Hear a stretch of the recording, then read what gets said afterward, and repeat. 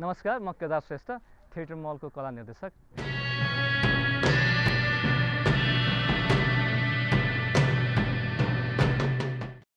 यो पटक नेपालमा नेपाली रङ्गमञ्चबाट महाकुम्भको मेला हुँदैछ।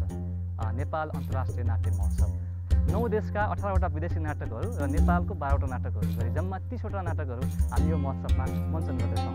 त्यही भएर पनि यो महाकुम्भको रूपमा स्थापित हुँदैछ।